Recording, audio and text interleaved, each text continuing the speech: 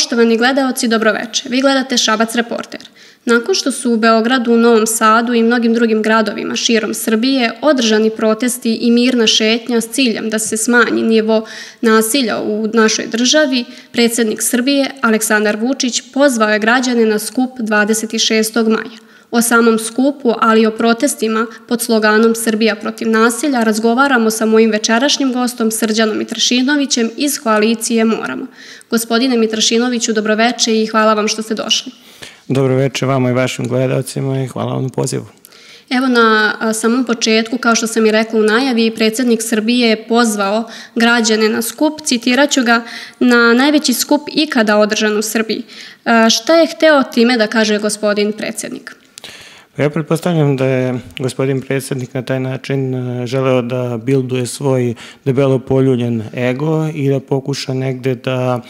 podigne, podigne negde moral u svojoj organizaciji koji je usled brojnih afera i ovih tragičnih dešavanja u proteklim nedeljama sigurno u značajnoj meri, u značajnoj meri oboren i negde u padu. On je na taj način, čini mi se, želeo da rehabilituje svoje saradnike od odgovornosti za sve ono što oni su trebali da urade, a nisu uradili ili su uradili, a nisu trebali u proteklom periodu da mi dođemo u ovu situaciju kakva jeste. I to je, verujem, ono što je njegova ideja, ali čini mi se da ono što svi građani Srbije vide jeste da je on zapravo pokazao kakva politika vodi ovu državu i da je pokazao kakvoj se osobi govori kada je zapravo o njemu reč. On je pozvao na skup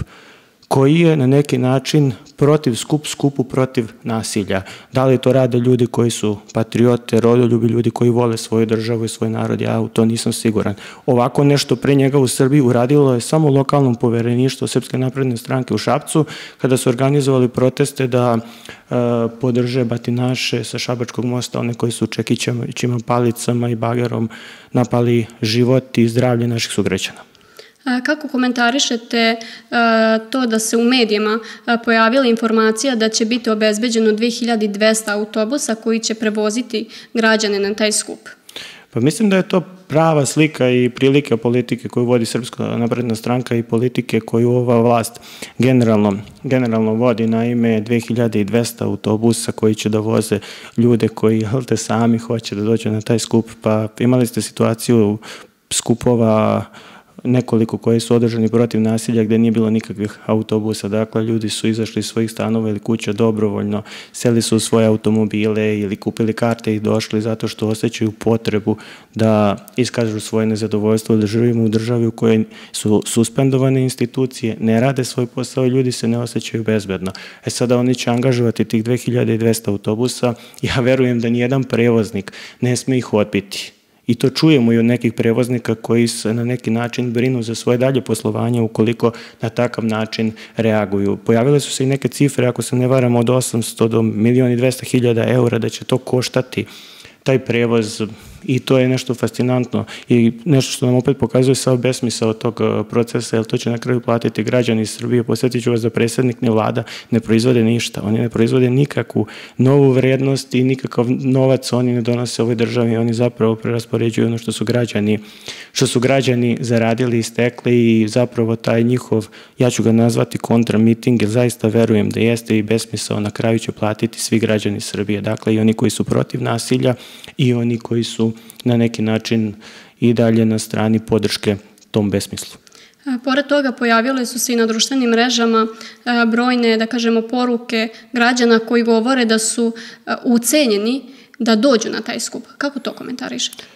Pa vidite, na društvenim mrežama možemo videti svašta i zaista je teško izvršiti selekciju šta je tačno, šta ne, ali svakodnevno i nas obaveštavaju ljudi koji rade uglavnom u javnim preduzećima ili čak i nekim privatnim preduzećima koja značajan deo svog poslovanja baziraju u saradnji sa, sa samim jedinicama lokalne samouprave ili ministarstvima, dakle, značajan deo svog prihoda ostvaruju poslovanju sa nekim budžetskim korisnicima, da imaju taj problem i da su im zacrtane određene kvote i da prosto ne znaju šta da rade, jednostavno ne osjećaju ne osjećaju da pripadaju tom skupu i da treba tog dana da budu tamo, ali su opet uplašeni ili za svoj posao, egzistenciju i, i prosto su tu negde u, u procepu između onoga što žele i onoga što misle da moraju učiniti i to je zapravo strašno i to je, verujem, i onaj osjećaj koji je probudio ljude da izađu na ovaj protest protiv nasilja i da jednostavno kažu da je svom tom besmislu i ludilu zaista vreme da dođe kraj. Sad kad smo kod toga, kako komentarišete i fotografiju Ane Brnabić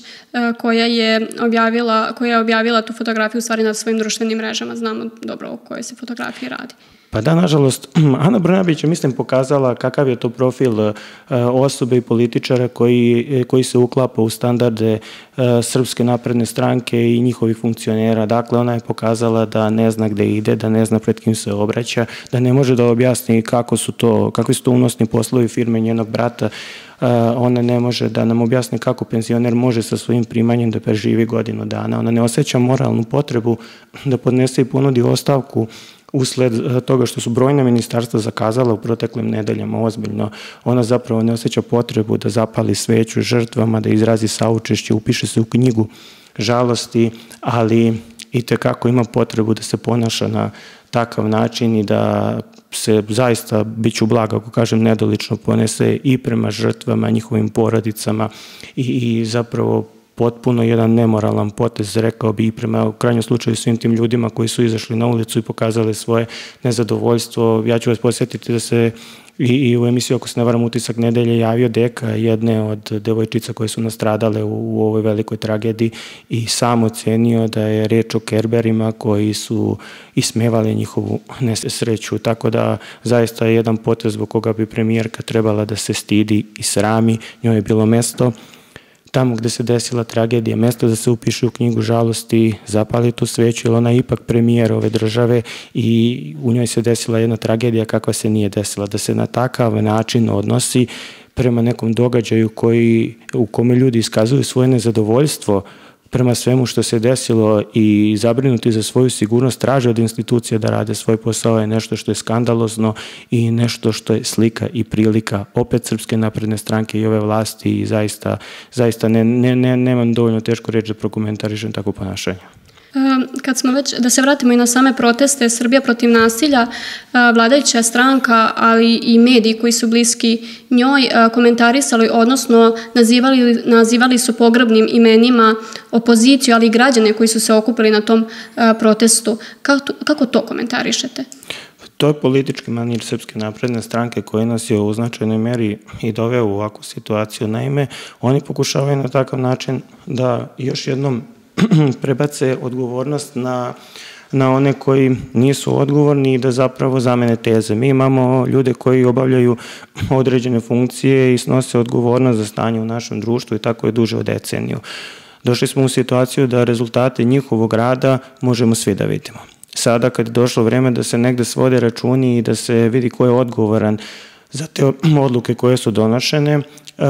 oni bi to da izbjegnu. I sada bi da govore da su neki drugi ljudi krivi, da su neki drugi ljudi neodgovorni i da prosto koriste svoju medijsku mašineriju kako bi stvorili jednu iskrivljenu sliku stvarnosti. To zapravo je nemoralno, nepristojno i siguran sam da neće proći zato što ljudi dobro znaju šta je istina, dobro znaju ko je suštinski donosi odluke više od deceniju u ovoj državi i da neće tek tako moći da se prebaci odgovornost na one ljude koji nisu imali nikakvu mogućnost da donose bilo kakve, kakve odluke. Zapravo e, taj sistem koji je uspostavljen ovde, da su institucije isključene i da se sve odluke donose u jednoj stranci, da imate situaciju da su mediji takvi kakvi jesu i da prosto ovde nema debate, već samo monolozi predstavnika vlasti su nas i doveli u situaciju da oni ne trpe nikakvu kritiku, a u ovom trenutku nije reč samo o kritici, u ovom trenutku je reč o tragediji kakva se nije desila na ovim prostorima i ovde neko mora da odgovara. A koliko je njihova svest o odgovornosti, najbolje govori činjenica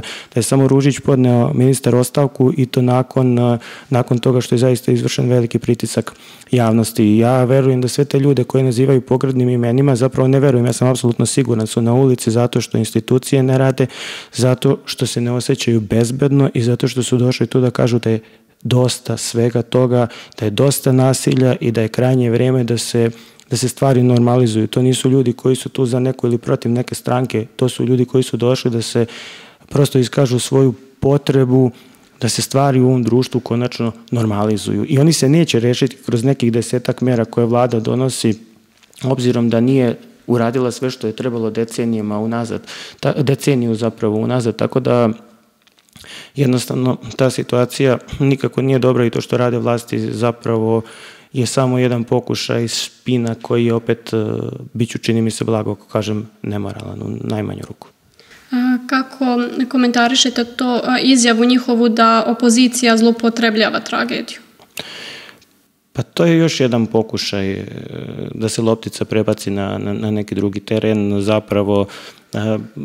u bilo kojoj opoziciji da govorimo, ona suštinski, sama reč kaže, opozicije nije imala nikakvu mogućnost da donosi bilo kakve odluke. Sve odluke je donosila vlast u proteklom periodu i vlast je odlučila I znamo koji čovjek je rekao ne dam Gašića, pa je rekao ne dam Vulina, pa je rekao ne dam ovoga, ne dam onoga i onda smo došli u situaciju da se izdešavaju brojne afere, došli smo u situaciju, ne znam da je Bratislav Gašić suštinski kažnjen za ono što je uradio novinarke mi bi ga danas ne bi imali na čelu ministarstva unutrašnjih poslova i ne bi videli da na ministar unutrašnjih poslova ne pravi razliku između masovnog ubistva i terorističkog napada. Da je Vulin suštinski morao da odgovara za aferu tetka iz Kanade, on danas ne bi vodio biju. Dakle, ne bi došli verovatno ni, ni do ovakvih slučajeva i tragedija. Ja ću vas posjetiti da mi živimo u državi u kojoj vlast vodi Srpska napredna stranka proteklih 11 godina. Za to vreme u ovoj državi je nastala najveća plantaža marihuane u ovom delu Evrope, najsvirepi kriminalni klan koji je mleo ljude u istoriji ove države. Mi smo ovde imali brojne ubistva, na čelu opština smo imali e, razne ljude okrivljene i za, za zapravo označene kao potencijalno krive za silovanja, za ubistva, za paljenje ljudima kuća. Dakle, mi imamo jednu vlast koja je ogrezla u kriminalu, u korupciji i u raznim stvarima koje su nas polako i postepeno dovele u ostanje u kome smo danas i oni sada to pokušavaju koristeći medije da, da, da predstave drugačije, da okrive one koji apsolutno nisu imali mogućnost da utiču na bilo kakve odluke, a time nemaju nikakvu ni krivicu za ovo stanje kako jeste. Njihova krivica je možda što nisu bili organizovani i imali veći uticaj na vlast, pa je možda na taj način terali da bude bolja, ali suštinska, vla, suštinska odgovornost leži kod donosioca odluka, a svi znamo da su te odluke donosili ljudi koji su na vlasti, odnosno ljudi koji dolazi iz Srpske napredne stranke. Predsednik Srbije Aleksandar Vučić e, izjavio je da će izbori najkasnije biti u septembru. Koliko je to izvodljivo i uopšte da li je to izvodljivo? Čini mi se da mm, se Aleksandar Vučić konstantno bavi rejtingom, što stranačkim, što svojim ličnim i ja sam apsolutno siguran i to možemo svi videti iz raznih istraživanja da je rejting Srpske napredne stranke u značajnom padu, dakle te brojne afere i sve što se izdešavalo su u značajnoj meri oborili rejting ove stranke, dakle oni su neke odluke donosili čini mi se loše, i zapravo ne čini mi se, siguran sam da su bile loše, neke važne odluke nisu donete i to je uticalo da građani u značajnoj meri izgube poverenje u stranku. Aleksandar Vučić sada pokušava čini mi se formiranjem ove nove stranke da negde sebe abolira i da krivicu prebaci na svoje saradnike kako bi uspeo sačuvati te procente, jer meni se čini da on samo u procentima i brojevima i razmišlja i da je to ono što negde je njegova osnovna preokupacija. Mislim da on manito brine o, o, o rejtingu koji pada i da ukoliko napravi procenu da će situacija biti sve gora, a bojim se, pored ovih loših odluka, tragedija koje su se desile, svih tih silnih afera i teška ekonomska situacija, vrtoglav rast cena u proteklih godinu dana, plate i penzije koje nisu porasle, su jednostavno uticali da ljudi dosta teže žive i da shvate da mi nismo, ne živimo baš tu bajku koju vidimo na, na, na svim tim televizijama. Tako da ja verujem da postoji mogućnost da izbori budu do kraja godine iz prostog razloga što mislim da što duže bude čekao Aleksandar Vučić ima manju šansu da zadrži vlast, a on će siguran sam dobro ispratiti sve i izanalizirati i birati onaj trenutak koji najviše odgovara njemu i Srpskoj naprednoj stranci. Kada ste rekli da predsednik Srbije i tekako voli da se, da kažemo, igra brojevima, Kako komentarišete to što predsednik Srbije ima stalno neku potrebu da komentariše koliko je građana bilo na protestima Srbija protiv nasilja? Predsjednik Vučić još jednom pokazuje da su njemu procenti i brojke ono što o čemu on brine, on ne brine o, o suštini nekih stvari, a ovdje je suština ne da li se okupilo 100.000, 10.000 ili 100.000 sugrađana i građana Srbije zapravo već prosto poruka koju ti ljudi nose. Da, oni su se okupili zato što ne rade institucije i zato što misle da je krajnje vrijeme da se nešto uradi kako bi ovo nasilje koje se odomaćilo u našem društvu završilo i sa tim prestalo. I to je zapravo ona suština koju predsjednik čini mi se ne shvata. Zapravo on bi sada da te neke ljude, vidimo, pominjali ste i one autobuse, odnosno pojavilo se to u medijima da dovedete ljude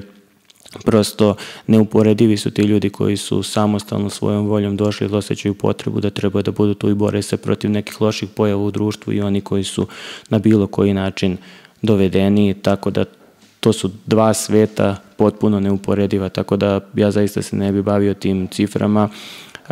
Jednostavno sramno je izjava predsjednika da je na prvom protestu bilo negdje oko 9000, kako je rekao 9700, pa imali smo i sad izjave ministra policije da je to nekih 11700. Zaista svi građani Srbije imali su prilike vidjeti o kom broju ljudi je tu reči, da su to značajno, značajno, odnosno više struko veći broj ljudi koji se tu okupio, ali zaista mislim da nije ovdje pitanje broja ljudi, pitanje poruka koju ovi ljudi nose, a broj tih ljudi koji se mogao vidjeti sigurno da daje na značaju i samoj poruci koja se nosi i ukazuje na vrlo ozbiljno stanje u kom se naše društvo trenutno nalazi. Evo za sam kraj da se vratimo na skup koji će biti održan 26. maja. Da li predsjednik Srbije, Srbije pozivajući na taj skup deli Srbiju na dva dela. Na one koji su uz njega i oni koji su protiv politike koju on vodi, protiv nasilja. E, kako to komentarišete? Da li on pravi razor među građane? Pa ja sam siguran da politika koju vodi Srpska napredna stranka sve ove godine debelo deli građane Srbije i da je dovela do zaista velike polarizacije u našem društvu, što nikako nije,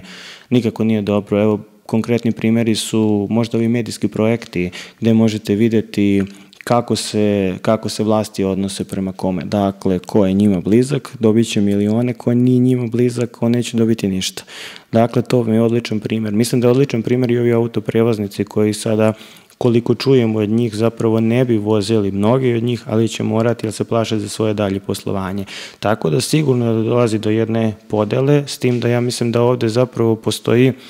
postoji suštinski, pored te podele, suštinska je podela naravno na one koji podržavaju takvu politiku, zapravo pre bih rekao takvo ponašanje, ja to ne mogu nazvati politikom što radi aktualna vlast i predsjednik i one koji su protiv toga. Ali siguran sam da u delu ljudi koji će otići na taj protest 26. se nalazi značajan broj onih koji sigurno suštinski ne podržavaju takvo ponašanje i politiku, ali tu su i straha da li za svoju egzistenciju, posao ili, i, ili već nešto što, što ih je uplašilo i nateralo da tamo budu, ali sam siguran da sutra na izborima neće svoj glas dati toj politici. Tako da i tom ponašanju zapravo. Tako da u ovakvoj situaciji polarizovanog društva čini mi se jako važno da sada svi zadržimo negde smirenost, pribranost i da pravimo mudre izbore, jer sve će ovo u nekom trenutku da prođe, moramo razumjeti i tu vlast koja je uplašena, dakle i ovim velikim skupovima i porukom koju ljudi nose, jer zapravo oni su radili, ali bukvalno sve i svašta u, u protekloj deceniji, jednostavno i sami su svesni da se polako bliži trenutak kada će morati da se svedu računi i kada će morati da preuzmu odgovornost za sve one odluke koje su donosili u proteklom periodu, a koji su nas doveli kao društvo ovdje gdje se sada nalazimo, a to gdje smo sada nije ni malo nije ni malo lepo zapravo. Mi imamo, imamo pravosuđe koje ne funkcioniše, zdravstvo koje ne funkcioniše, škole koje se nalaze u jako lošem stanju i to je prosto nešto što je došlo na naplatu kao posljedica brojnih odluka koje nisu bile na mestu i nisu bile nešto što je trebalo da se donese, a zapravo mnoge koje su trebale biti donešene kako bi ovo društvo išlo napred, nisu donete i ta obećana mir i stabilnost, bolja budućnost e, za svu decu jednostavno nije došla, to vidimo i toga su svesni i predstavnici vlasti i to ih čini uznemirenim. Ja to mogu da razumem, ali prosto to je problem sa kojim se moraju suočiti, jer svi mi na kraju moramo da se suočimo sa posljedicama odluka koje smo, koje smo donosili. Gospodine Mitrašinoviću, hvala vam na gostovanju, a vama dragi gledaoci hvala što ste nas pratili do sljedeće epizode. Doviđenja.